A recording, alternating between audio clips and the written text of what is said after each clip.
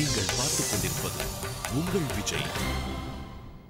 என் வீட்டுக்குள்ள கேட்ஜெட் அனுமதிக்க விரும்பல அப்படிங்கிறதுக்கான ரீசன் வேற என்ன வச்சிருக்கீங்க?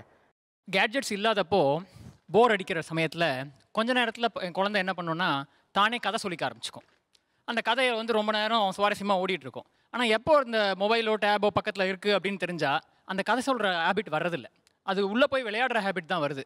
அதனால் இந்த கற்பனா சக்தியை டெவலப் பண்ணிக்கிறதுக்கு இந்த ஒரு ஃப்ரீ ஸ்பேஸில் அவங்க இருந்து பழகணுன்றதுனால நாங்கள் அதிகமாக அதிகமாக அனுமதிக்கிறது இல்லை ஓகே நீங்க எப்படி வளர்க்குறீங்க? இப்படி தான் வளர்க்குறீங்க கேட்ஜெட்ஸ்லாம் கம்மி. டிவியும் இல்லை எங்கள் வீட்டில் டிவியும் கிடையாது. கிடையாது. டிவியும் போடுறது இல்ல டிவியும் போடுறது இல்லை ஓகே ஏன் டிவியை கட் பண்ணிட்டீங்க மெயினாக அந்த ஸ்க்ரீன் டைம் வந்ததுனாவே ஒரு மாதிரி அது ஒரு அப்சார்ப்ஷன் வந்துடுது இப்போ டிவியில் வரும்போது சில விஷயங்கள் பயப்படுறாங்க குழந்தைங்க. அந்த சண்டைகள் இதெல்லாம் பார்த்து பழகாததுனால அவள் திடீர்னு அவள் ஃப்ரெண்ட் வீட்டுக்கு போனால் கூட சில சமயம் பயந்து வந்துடுறா.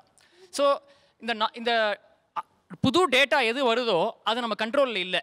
அது குழந்தைகளுக்கும் வருது அடல்ட்ஸ்க்கும் வருது. அப்போ நம்ம டோட்டலாக அவங்ககிட்டயே விடும்போது அது வந்து நம்மளையும் தாண்டி ஒரு ஒரு புது சோர்ஸ் ஆஃப் இன்ஃபர்மேஷனாக இருக்கிறதுனால முடிஞ்ச வரைக்கும் அதை நாங்கள் அவாய்ட் பண்ணுறோம் வேற வேற என்ன மாதிரி ஸ்கூல்ல படிக்கிறாங்க? அவங்க ஸ்கூலில் படிக்கல.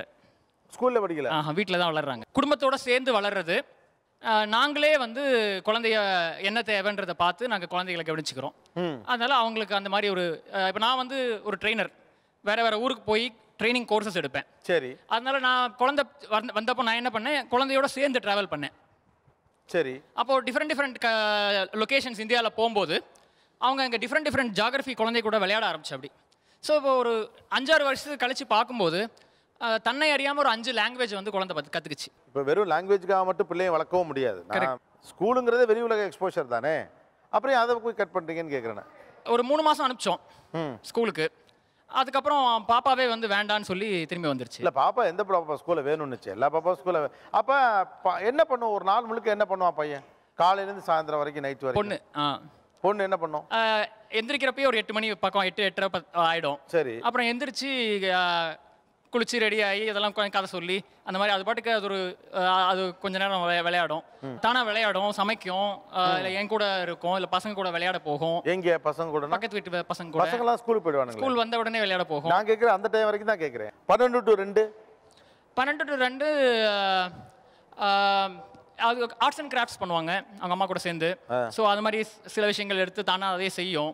Four to six four to six பசங்க வந்துடுறாங்க. அப்போ இமீடியட்லி விளையாட ஃபோர் டு சிக்ஸ் அவங்க ஒன்று நேரம் விளாடுவாங்க அதுக்கடுத்து அவங்க படிக்க போயிடுவாங்கல்ல ஃபோர் டு ஃபைவ் தான் டைம் இப்போ ஆக்சுவலாக ஆமா. கொஞ்சம் அதுக்கப்புறம் விளையாடுவாங்க. ஆமா. ஃபைவ் ஓ கிளாக் மேலே அதுக்கப்புறம் நான் வந்துடுவேன் முக்கால்வாசி. ஸோ வந்துட்டுன்னா என் கூடயும் சேர்ந்து விளையாடுறது ஊர்ல இருக்கிறப்போ. இல்லாதப்போ? இல்லாதப்போ ஈவினிங் அம்மாவோட சேர்ந்து திருப்பி சமைக்கிறது இல்லை வீட்டில் என்னென்ன வழி உண்டோ அதெல்லாம் பார்த்துட்டு இருக்கோம். பட் இப்போ நீங்கள் சொல்கிறது எனக்கே போர் அடிக்குது ஆக்சுவலாக ஒரு நிமிஷம் இல்லை இல்லை. ஹோம் ஸ்கூலிங் கான்செப்ட் வேறையா வேறையாங்கிறது தெரியல. இப்போ நீங்கள் சொல்கிற நடைமுறை இருக்குல்ல. ஆமா. இந்த நடைமுறை கேட்கவே எனக்கு சலிப்பாக இருக்குது சரி. பர்சனல் ரொம்ப டார்க்காக அந்த குழந்தைய பற்றி எனக்கு I I'm feel feel feel very pity about her yes அவளுக்குன்னு இந்த இந்த அடல்ட்டோட உலகத்துக்குள்ள அவ கண்ட்ரோல்டாக இருக்கா இருக்க? ஆமா. நீங்கள் சொல்றதுல என்னன்னா எல்லா பிளாக்லையும் விளையாடுது அது. அந்த கொஞ்ச நேரம் விளையாடும் ரெண்டு டு ரெண்டு விளையாடும் மூணு டு மூணு எல்லாம் அம்மாவோட விளையாடும். அது இயல்பாக ஒரு குழந்தை எப்படி இருக்கணுமோ அப்படி இல்லவே இல்லையே. இந்த அவங்கள்ட்ட மைக் கொடுங்க. எனக்கு கண்ணை கட்டி காட்டில் விட்ட மாதிரி இருந்தது. I can't digest the fact can't digest the fact sir ஸ்கூலுக்கு போய் நாலு பசங்களோட எவ்வளோ ஃப்ரீயாக விளையாடுற குழந்தையோட ஜெயிலுக்குள்ளே போட்ட மாதிரி வீட்டுக்குள்ளே வச்சுட்ருக்கேன்னு சொல்கிறீங்க இல்லை எனக்கு அப்படி தான் தோணுது. நீங்கள் சொல்கிறது நான் வீட்டில் தான் வச்சுருப்பேன். காலையிலேருந்து என் ஒய்ஃபு நான் அந்த குழந்தை போன போனால் நாலு பேர் தான் சார் பார்க்குது நீங்கள் உங்கள் ஒய்ஃபு இங்கே இன்னொரு ஒரு சின்ன பாப்பா. ஸோ அது வந்து எனக்கு என்ன ஜெயிலுக்குள்ளே போட்ட மாதிரி இருக்கு ஒரு குழந்தைய. என்னால் அக்செப்ட் பண்ணவே முடியல. சரிங்க மேடம் அதாவது நீங்க நாலு பேர்னும் போது நீங்க உங்க கற்பனையில வந்து நாங்க நாலு பேர் மட்டும் தான் இருக்கோன்ற மாதிரி தான் உங்களுக்கு இல்லை தோணுது. சார் காலையிலேருந்து நாலு பேர் கூட இல்லை ரெண்டு பேர் தான் சொல்லலாம். அவங்க அம்மா குழந்த இல்லையா? ஸோ என்ன ஸ்கூல் போனால் எவ்வளோ பார்க்கலாம். எவ்வளோ பசங்க இருக்காங்க ஃப்ரெண்ட்ஸ் கிடைக்கும் எல்லாம் கிடைக்கும். அந்த மற்ற பசங்க ஸ்கூலுக்கு போயிட்டு வந்துட்டு அந்த பசங்க அந்த ஸ்கூலில் நடந்த கதையெல்லாம் சொல்லும்போது உங்கள் குழந்தையோட மனசு எப்படி ஃபீல் பண்ணுன்றது அவங்க உங்ககிட்ட சொல்கிறாங்களா என்னன்னு தெரியல. பள்ளிக்கூடத்தில் வந்து காலையிலேருந்து சாயந்தரம் வரைக்கும் இப்படி உட்காந்து தான் இருக்கும். அந்த ஒரு அதுவே வந்து ஒரு ஒரு சைல்டுஹுடே வந்து நம்ம திருடிடுறோம். ஒரு விளையாட்டு ஒரு சுதந்திரம் அப்படின்றது இல்லை. அவள் ஸ்கூல் போயிட்டு வந்து சொல்கிறா போர்டு பூரா எழுதி வச்சுருக்காங்க. நான் பார்த்து எழுதும் போது எந்த வார்த்தையை பார்த்து எழுதுனேன்னு கூட என்னால் பார்க்க முடியலன்றா. ஏன்னா அவ்வளோ தூரத்தில் உட்கார வச்சு எழுதுகிற இது இருக்குது ஒரு நாற்பது நிமிஷம் நாற்பது நிமிஷம் நாற்பது நிமிஷமாக கொடுக்கும்போது எதுக்குள்ளேயும் ஒரு முனைப்பாக நம்ம உள்ளே போகிறதுக்கான வாய்ப்பு கிடைக்கிறது இல்லை. அதனால் அவளுக்கான இன்ட்ரெஸ்ட் என்ன இருக்குது அப்படின்றத கண்டுபிடிச்சி அதில் செலுத்தணுன்றது தான் எங்களோட வேலை. அதனால் வீட்டுக்குள்ளேயே வச்சு மூடி வைக்கிறதுன்றது இல்லை.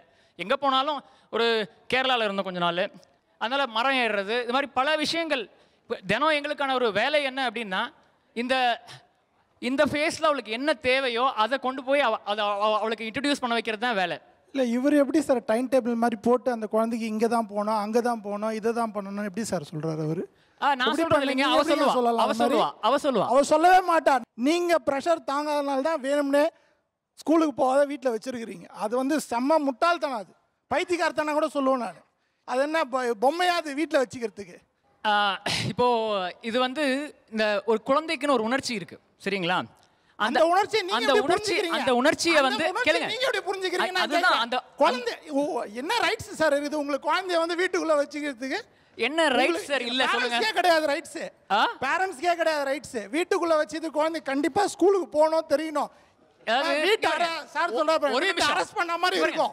அதெல்லாம் ஒத்துக்க முடியாது சார். இங்க பாருங்க. நீங்க சொல்றது சும்மா ஃபேக் ஃபேக் ஃபேக் நீ எங்களை சொன்னீங்களே? ஒரு நிமிஷம். நீங்க தான் ஃபேக் பண்றீங்க. ஒரு நிமிஷம், நீங்க ஒரு நிமிஷம். பண்றீங்க. நாங்க ஃபேக் பண்ணல. உங்களை விட சத்தமாவும் எனக்கு பேச தெரியும். சரிங்களா? பேசுங்க பேசுங்க. சத்தத்தின். அடிப்படையில் ஒரு நாங்க- விவாதத்தை நாங்க ஜெயிக்கிறதுக்கு நான் விரும்பல. புரியுதுங்களா? உங்களோட கோபம் எல்லாம் உங்க கற்பனையில இருந்து வருது. நீங்க என் பொண்ணு கூட கொஞ்ச நேரம் இருந்தீங்கன்னு வச்சுக்கோங்க. அப்பதான் நான் பண்றதோடைய மகத்துவம் என்னன்றது உங்களுக்கு தெரிய வரும். குழந்தைங்களாம் வந்து அந்த டைம் டேபிள் போட்டெல்லாம் வீட்ல வைக்க முடியாது. நான் உங்களுக்கு பதில் சொல்றேன் இருங்க. முடியாது. இருங்க இருங்க குழந்தைங்க அவர் என்ன கேட்டாரு? அவர் அவர் பாத்ரூம் போறது கூட டைம் டேபிள் போடுறீங்க நீங்க? இப்போ உங்களோட எக்ஸ்பீரியன்ஸ் அந்த குழந்தையோட இருந்தால் தான் அந்த மகத்துவம் தெரியும் சொல்றீங்களே இப்போ மற்ற குழந்தைகளோட கம்பேர் பண்ணுறப்போ உங்கள் குழந்தை என்ன டிஃப்ரெண்ட்டாக இருக்கும்? என்ன ஸ்பெஷலாக பெட்டராக இருக்கும்? எங்கே பெட்டராக இருக்கு? என்ன பெட்டரா இருக்கும் அப்படின்னீங்கன்னா எங்க விட்டாலும் போய் தானா ஒரு ஃப்ரெண்ட்ஷிப் ஃபார்ம் பண்ணி அது பாட்டுக்கு விளையாட ஆரம்பிச்சிடும் சரி. ஒண்ணு. ரெண்டாவது எல்லாரும் அவங்க என்ன பேசுறாங்கன்றத வச்சு அவங்க லாங்குவேஜோ இல்லை இங்கிலீஷோ இங்கிலீஷ் நல்லா படிச்சு கத்துருக்கு நல்லா பேசுது இப்போ எழுதுது. அதனால தானாவே அதாவது தனக்கு என்ன வேணுன்றத தானே தேடி போய் கத்துக்கிற ஒரு திறமை இருக்கு. கற்பனா சக்தி நல்லா இருக்கு. அதாவது ஏதோ ஒன்று வரைகிறது செய்யறது இதை மாதிரி ஒரு தன்னை தொலைத்து ஒரு விஷயத்தை செஞ்சு கொண்டு வந்து எங்ககிட்ட காட்டுறது இந்த மாதிரியான ஒரு இது இருக்கு. அது எனக்கு வந்து சரிப்படல. என்னை பொறுத்த வரைக்கும் குழந்தைங்க குழந்தைங்களோட தான் லீட் ஆகணும்.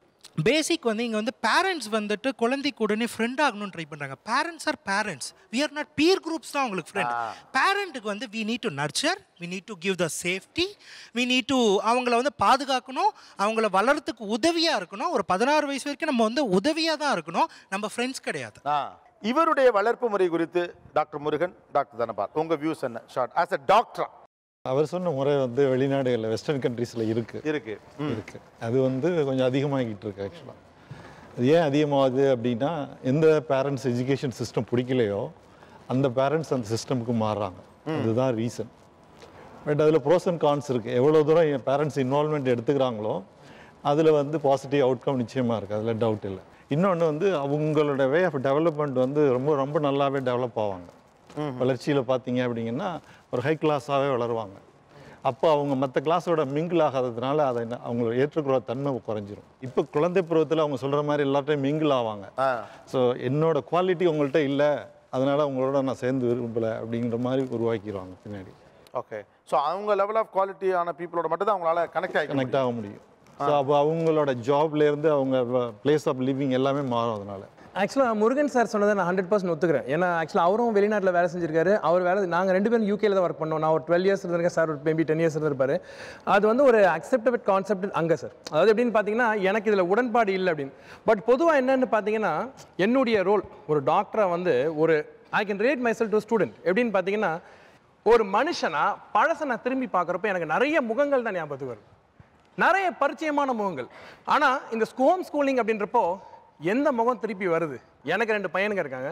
அவங்கள நான் போய் கேட்டு ஹோம் ஸ்கூலிங் பண்ணுவீங்களாடான்னு கேட்டால் no definitely my children will not agree because man is a social animal I want to go out என்னை எவ்வளோ நேரம் கட்டி போட போகிறீங்க